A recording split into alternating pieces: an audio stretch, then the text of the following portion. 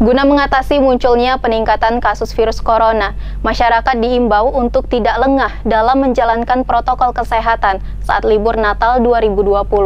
Selain itu, warga diharapkan tidak berkumpul guna merayakan Tahun Baru 2021. Memasuki akhir tahun 2020, kebiasaan masyarakat merayakan dengan euforia menjadi kekhawatiran tersendiri bagi pemerintah Kabupaten Sarolangun. Kepala Dinas Kesehatan Kabupaten Sarolangun Bambang Hermanto mengimbau kepada masyarakat untuk selalu menerapkan protokol kesehatan yakni dengan memakai masker, mencuci tangan dengan sabun dan air mengalir serta menjaga jarak. Bambang berharap untuk libur panjang kali ini warga Sarolangun tidak bepergian keluar daerah atau ke tempat wisata yang dapat menimbulkan klaster baru penyebaran virus corona di Kabupaten Sarolangun.